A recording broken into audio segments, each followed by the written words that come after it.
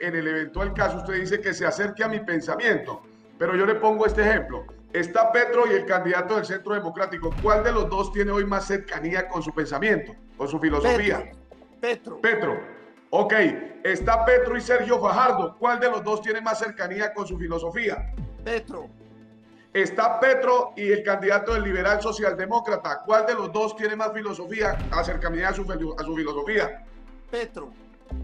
Está Petro y Alejandro Gaviria. ¿Cuál de los dos tiene más acercamiento a su filosofía? Petro.